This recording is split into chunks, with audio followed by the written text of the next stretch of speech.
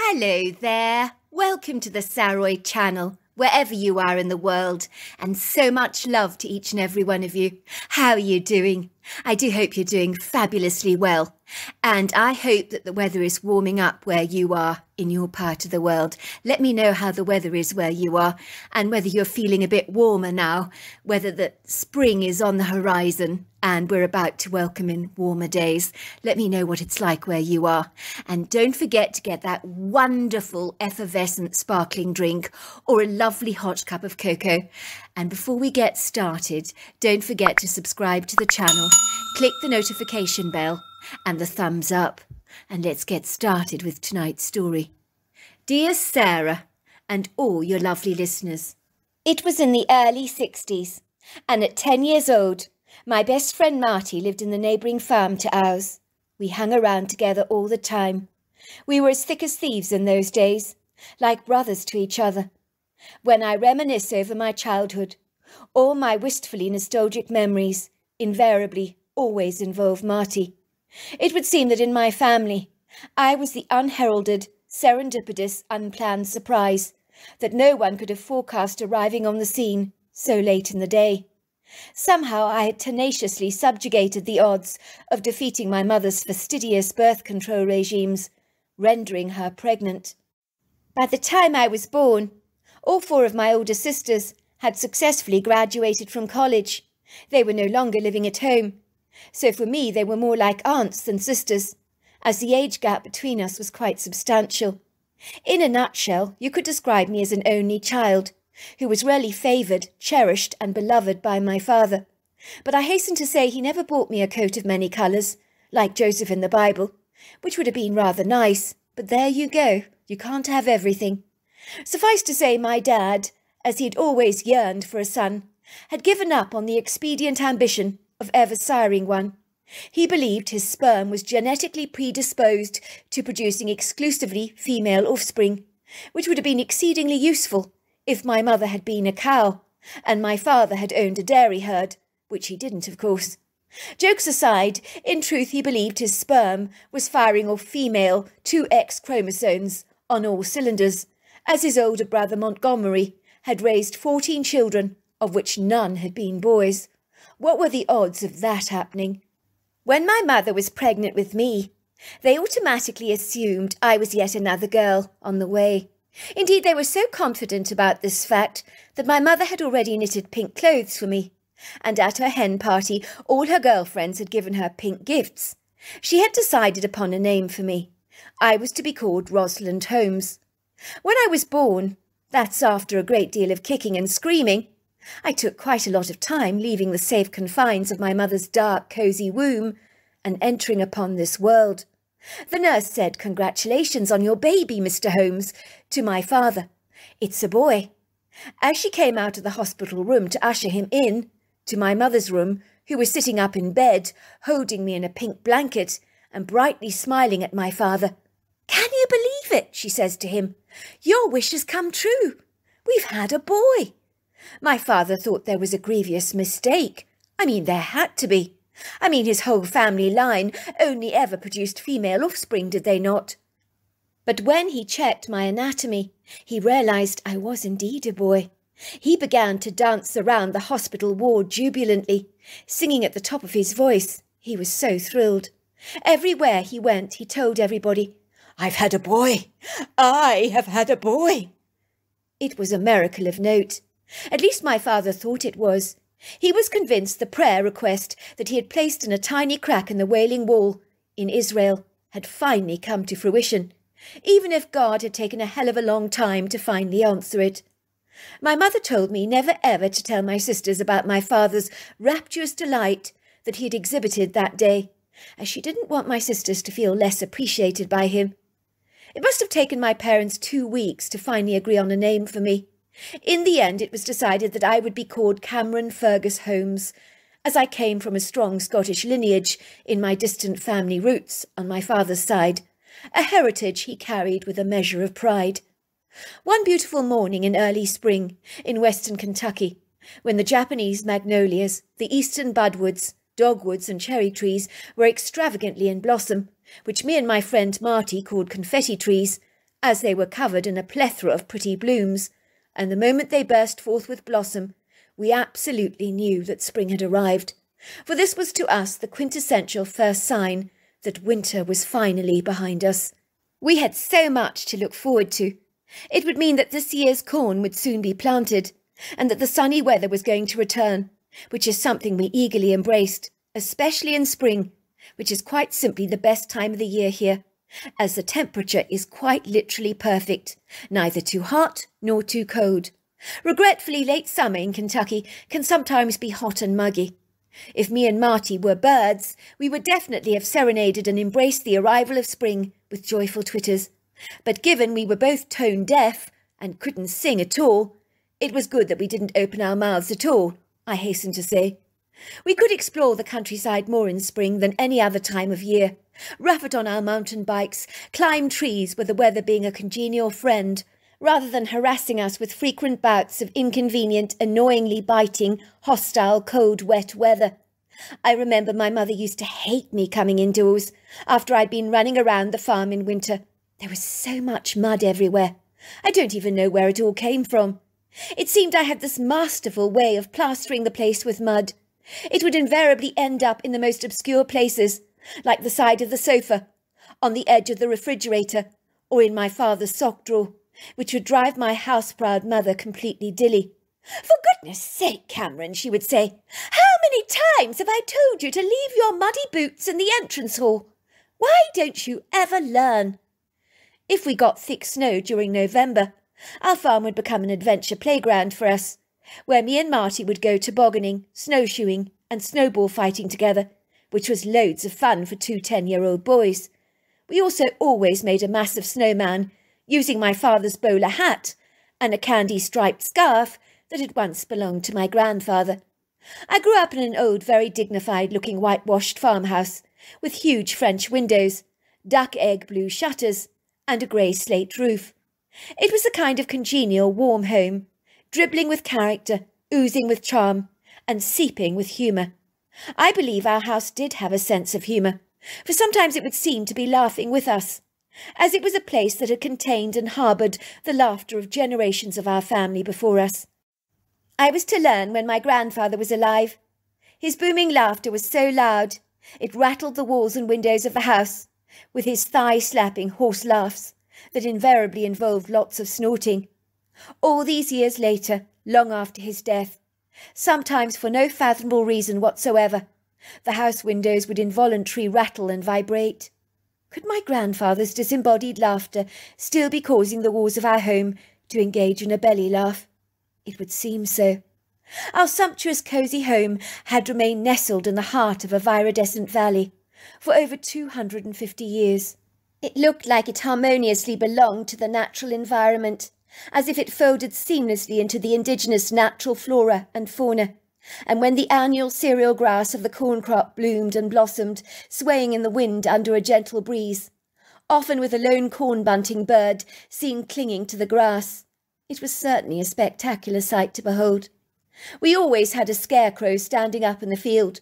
My father created it as a perfect imitation of himself, and it was an excellent likeness. There were many times I thought the scarecrow actually was him, he had designed it to be portable so that it could be moved around the fields frequently, so the birds never ever cottoned on to the fact that it wasn't actually my dad.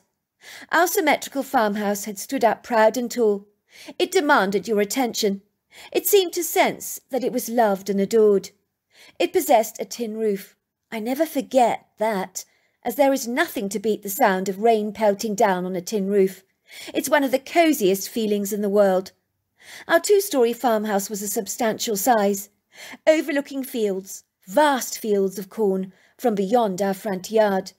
My mother kept our home naturally in pristine condition, as she derived a certain amount of pleasurable satisfaction from buffing up the house so it shone like a bright new pin.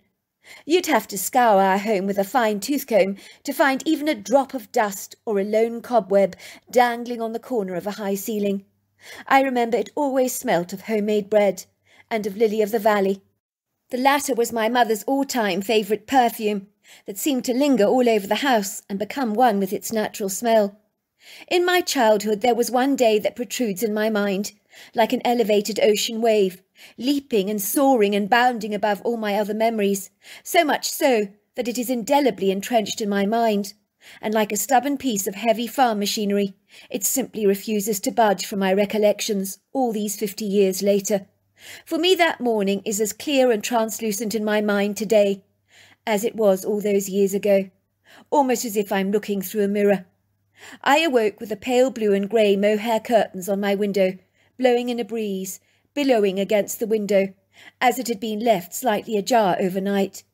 A cool breeze blew generously into my room, filled with the sweet scent of magnolia blossom, and the whole room was infused with a soft warm light that appeared brighter than usual.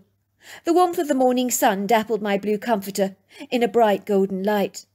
My bedroom in those days had Wedgwood blue walls covered with posters of bush planes flying over mountains and glacier lakes in Alaska, and shelves displaying model aircraft, as I was exceedingly zealous about planes in those days, and secretly fancied myself flying my own bushcraft over Alaska some day.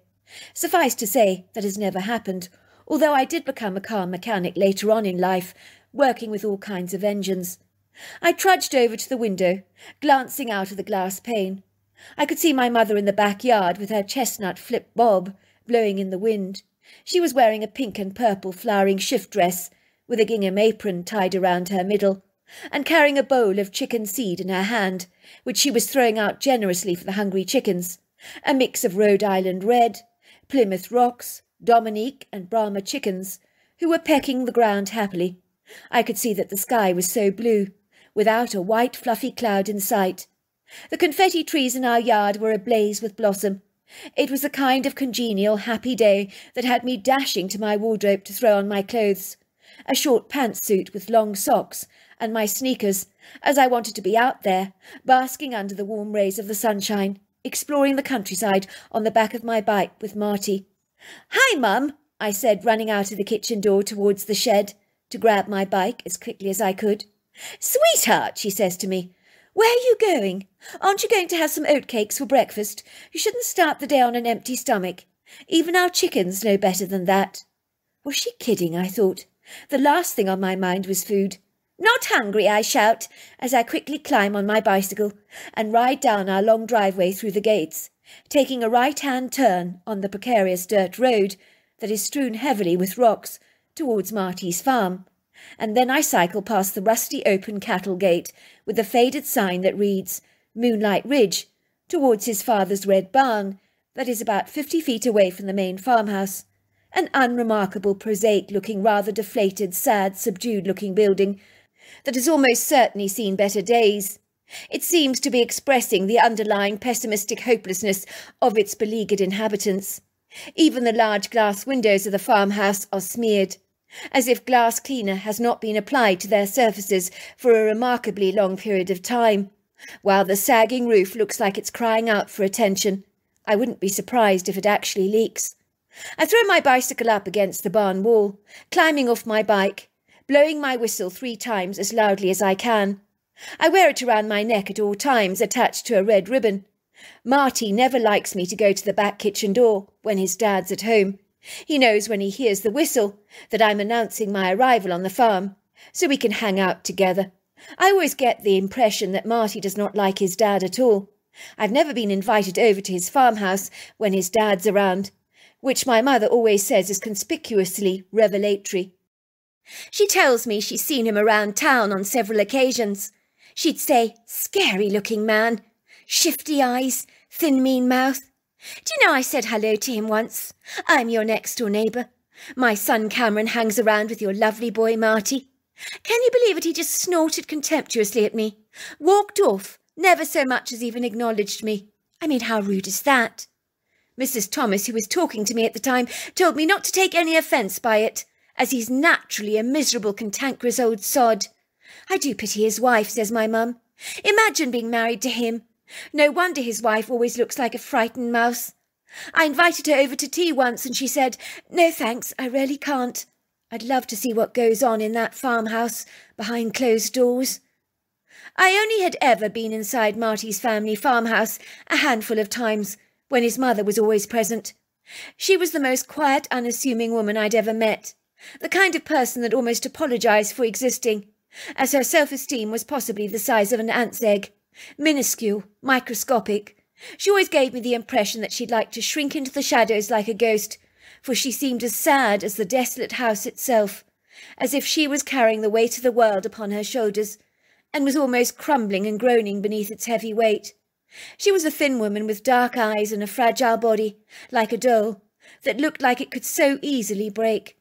I always used to clandestinely think that if she was caught up in a feisty windstorm, she might just get blown over like a feather. Moments after I'd blown my whistle, Marty comes out of the house. At first he doesn't look directly at me. His brown head of hair is fixed on the ground, as if he's wilfully trying to avoid any eye contact with me. Then I see the tall, doleful silhouette of his insolent father. He's standing in the doorway. He's glaring at me, wearing a huge, opprobrious frown on his face. He eyes me objectionably, through indignant, acrimonious, fiery brown eyes. To my horror, he comes marching out of the house, swinging his arms backwards and forwards captiously, as if he wants to strike something down with his fists. I'm quite sure he'd like that to be me. But I'm not his son.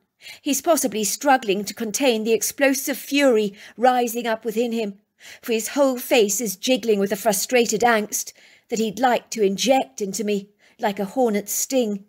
He gives the impression of being like a cantankerous transient sea lion, as mad as hell, almost as if he's looking to pick a fight with someone in order to air his grievances, which will make him feel a whole lot better. So it's you again, is it, young man? he says with a loud, sneering roar. Can't keep away, can you? You're like a nasty, bad smell, always reappearing again and again. You keep blowing that god awful whistle all the time. Are you trying to wake the living dead with all this noise pollution? I'm sorry, sir, I say, flushing. If you want to see my son, why do you not come and knock on the front door like any normal, respectable kid would do, instead of blowing that bloody whistle of yours? Where did you get it from? he asks me scornfully. My father bought it for me, sir, I explained. He should be bloody ashamed of himself, buying you such a noisy, disruptive instrument. What was he thinking? A kid like you, with a whistle like that? Given half a chance, you'll be blowing that wretched thing all day long. Ha! I know what kids like you are like. You just can't help yourself, can you? Thrive on being bloody nuisances day after day after day. You simply can't stop meddling, can you? In my day, children were seen and not heard. But now you kids seem to think you can bloody do whatever the hell you like. Sod the rest of us. That's the attitude nowadays. It makes me bloody sick. It makes my blood boil. Your mother should teach you some manners, young man. But given your mother, ha, I've seen her around town. Nasty woman she is. Sir, uh, sir, I only ever used the whistle to call Marty. I didn't mean to make a noise. If you like, I won't ever do it again. I, I, I'll come to the kitchen door and, and knock. Marty's father is not listening to me. His eyes are resting on my bike, parked against the barn wall. What the hell are you doing, young man, parking your bicycle against my wall? How dare you be so goddamn presumptuous? This is so bloody typical of the young generation these days. No respect for other people's property. You're scuffing up my wall with those bicycle bars of yours. Did your father not teach you to respect other people's property? I suppose not. After all, he hasn't taught you any manners. You've got dreadful parents, young man. I'm surprised that Mr. Butcher, Marty's father cares about his barn at all, given its dishevelled state. Even his mechanic shop on the other side of the property looks like it's a chaotic hodgepodge of stuff. As Marty's unblunted father blasts away venomously at me, I feel quite intimidated by his mordacious energy, and want nothing more than to run away from him as fast as I possibly can. I've never been spoken to like this so ruthlessly, with such an astringent spite. I can feel tears welling up in the back of my eyes, but I fight them back as hard as I possibly can. I don't want to look like a complete baby. I'm ten years old, for goodness sake. Besides, I don't want to give this sardonic, corrosive man the slightest satisfaction that he's ruffled my feathers. I want him to think that nothing he said to me has upset me in the slightest. So I straighten my back up proudly, look him directly in the eyes, and say to him, Have a nice morning, Mr. Butcher. Sorry to have caused you so much grief. He scoffs at me, turns around to retreat back to his house, and under his acidic, treacherous breath, loud enough for us to both hear, he spits out, Bloody kids! They should all be aborted from birth, the whole damn lot of them. He spits on the ground, walks back to the house, slamming the door behind him so hard that I almost jump out of my skin. Phew! All I can say, he's one miserable character. Sorry about my dad, says Marty apologetically, climbing onto his bike. He, he's in a bad mood today. Soon we are rigorously cycling back to my farm to get the hell away from Moonlight Ridge.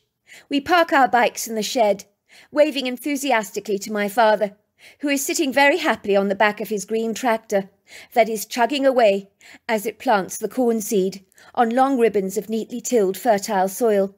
He waves at us as we run through the green valley towards the large creek of silvery water that is fringed by a spectacular oak and hickory wood grove that sprawls to the rear of our properties, extending to Marty's father's farm as well. It's when I look up at Marty, I see his black eye. I'm nonplussed. This is the third time in six months he's had a black eye.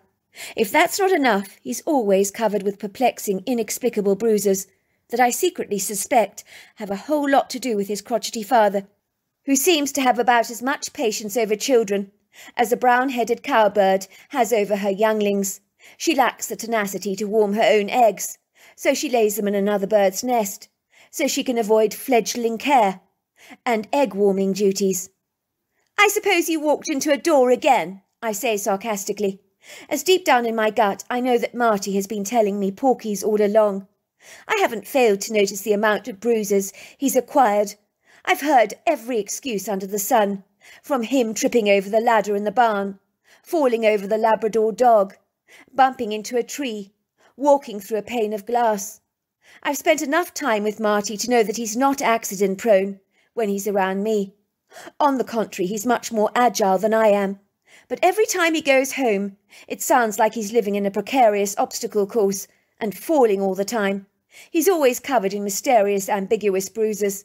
Sometimes I've seen him hobbling out of his house in pain, as if he's really been beaten up exceedingly badly. As I previously mentioned, I have my sneaking suspicions that Marty's father is beating him up. But I don't want to make Marty feel uncomfortable by pressing him to tell me about what's really going on with him and his father. But I hasten to say, I do feel rather hurt that he hasn't confided in me, as I consider Marty to be like a brother to me, so we shouldn't be keeping any secrets from each other. I decide to let sleeping dogs lie, allow Marty to confide in me when he desires to do so. I know he's protecting his father's reputation, and honestly I don't know why he bothers. By all accounts, his father has a dreadful reputation in town, He's one of those people that no one has warmed to over the years, nobody even remotely likes. You only have to look at the man to see he's a disagreeable sort. Marty tries to maintain this misleading charade, to keep up the appearances that he lives a normal life, as deep down he longs for normality, like you or I might long for a holiday abroad somewhere. But normality for Marty is a dream on the furthest horizon that is so beyond his reach. I haven't failed to notice the apprehensive reluctance that he exhibits every time he returns home, as if he's desperately trying to summon up the courage to retreat back to the confines of a place that should naturally embody all that is good. It should embody love, warmth, security, safety, and comfort, but not for him, it would seem. Yeah, he says to me, avoiding eye contact with me. I don't know why I keep walking into that door.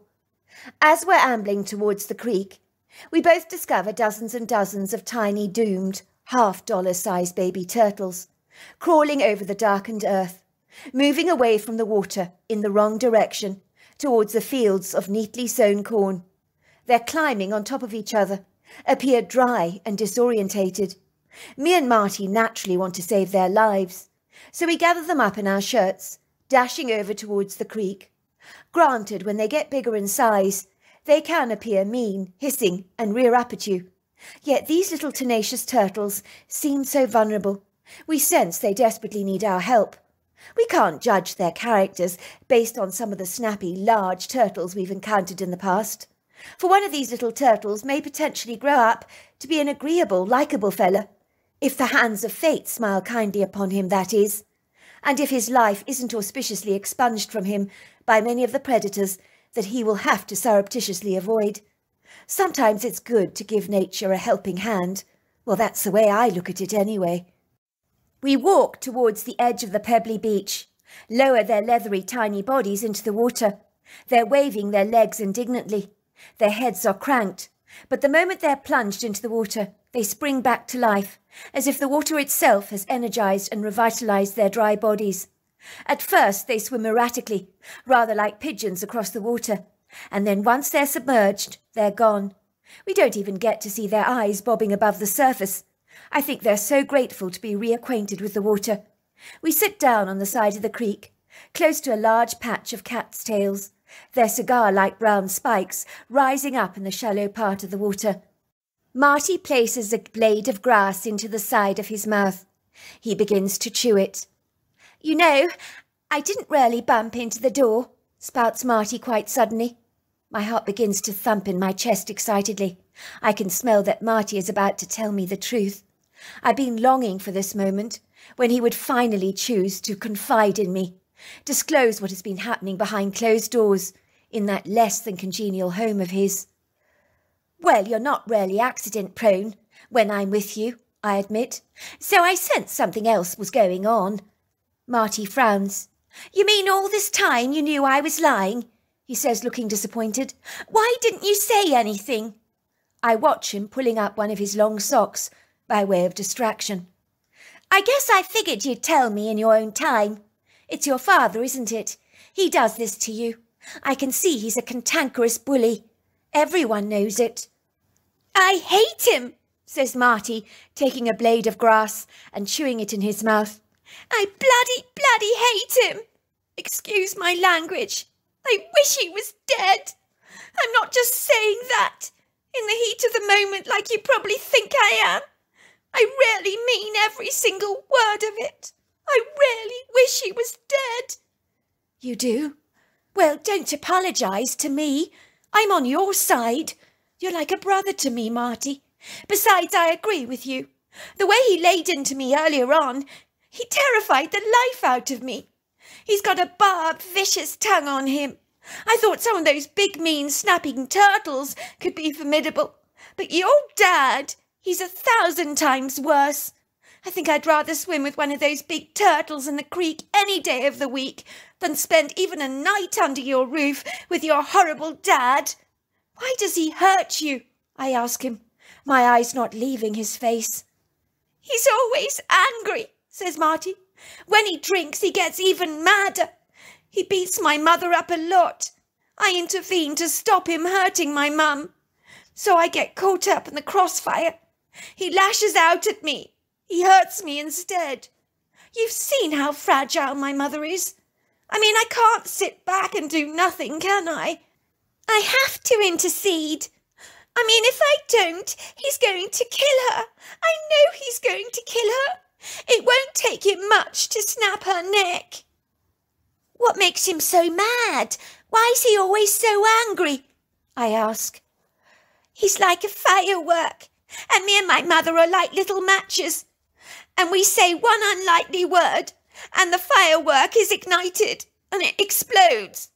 Like the other night, for example, I was sitting having dinner with Mum and Dad at the vintage green formica table in our kitchen. It's always so uncomfortable sitting down to dinner when Dad's there. My mother says to my dad, Do you want any more chicken casserole? He finished it all, you see. He only had a little piece of potato left on his plate. He said, If I want any more bloody chicken casserole, I will ask for it, woman. And then he picks up the plate and he throws it across the kitchen, smashing it into smithereens. so that it's lying shattered all over the kitchen floor. And our Labrador Rover, he races out of the kitchen so fast, he's so scared of Daddy, as Dad sometimes kicks him really hard, and he squeals in pain. He then spouts, Why does everyone in this house have the brain cells of a plant? Do you not see the potato on my plate, woman? I didn't eat it up, did I? My mother says, No, you didn't. There you are, then, woman. Use your brains, girl. If I didn't eat the potato, it means I'm full. If I'm full, it means I don't want any more bloody chicken casserole. And while we're talking about your chicken casserole, it might be nice if you weren't such a lazy bugger and you put some dumplings in it from time to time. My mother always made dumplings for the family when she made chicken casserole, and she's had many more mouths to feed than you've had.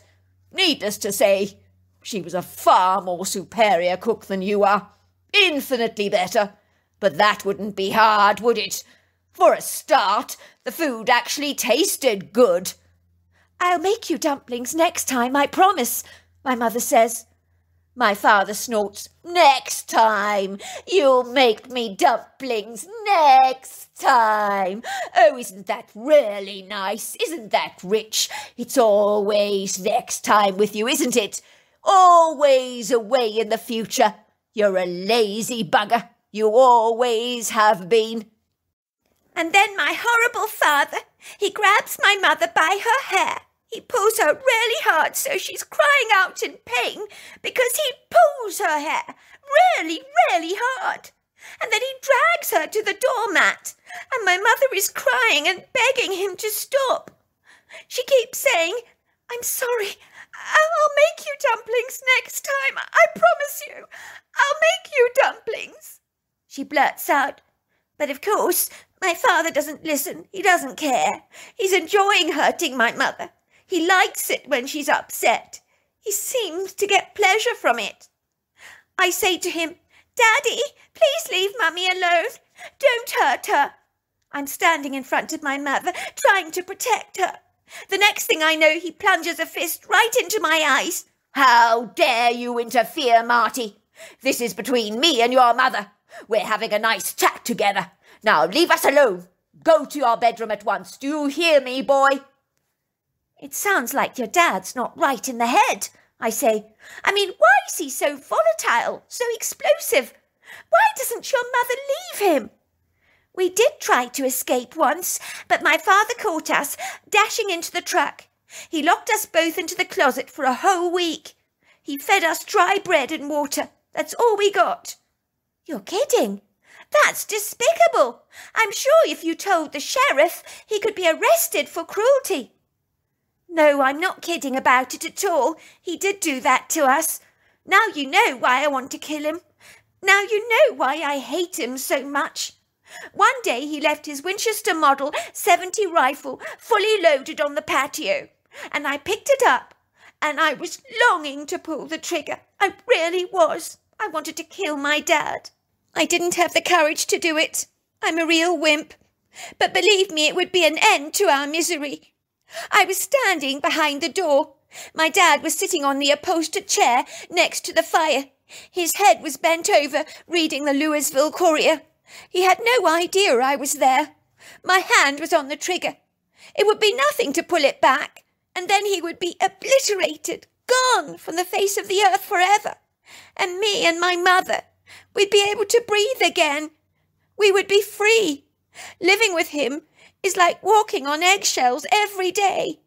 Me and my mother are too afraid to say anything, as it'll set him off. Marty pauses for a moment. I can't believe he's actually opening up to me like this. I sense he's relieved to let go of his angst that has been troubling him for a long time. Marty starts chewing a new blade of grass. The worst part of it all is if we say nothing at dinner, he then slams his fists on the table and says, why is everyone so goddamn miserable in this house of ours? Why is no one talking? I'm sick of you two, always looking as if you're sulking. My mother will then say something like, Matty, why don't you tell us how your day was at school today? So I'll say something like, It was all right. The same as usual, really. I can't imagine eating dinner in such a tense environment all the time, I say. No wonder your mother looks so afraid. My dad's a big, big bully, says Marty. You know how many times I've dreamed of him just lying there dead? I've dreamt of him being eaten by a pack of coyotes, or falling down a landmine. I even prayed to God once to take him away from us, because he doesn't deserve to live. I know that that is a horrible thing to say about my own dad, but my dad makes everybody miserable. The dog, even his own family members who live far away from here, and me, and most of all, he makes my mum very, very sad. I'm scared about going home tonight, he admits. Why? Because you know he'll be in a bad mood. Marty looks at me, his eyes growing round with fear. No, that's a given. He's always in a bad mood. It's just I was playing with a ball this morning, he almost whispers, and I hit his gun cabinet. When my father, well, he keeps his rifles there, and I shattered the glass. It looks like a huge spider web crack. I'm too scared to tell him I did it because I know how angry he's going to be. But when he sees it, he'll know it was me, and he'll give me such a beating. He loves that gun cabinet of his. So there we are. That's the end of part one, because this is a long story, so it's divided into two parts, because otherwise it takes a lot for them to process. When it takes over an hour, then it is quite long to process. So until next time, goodbye and good night. Tomorrow will be part two.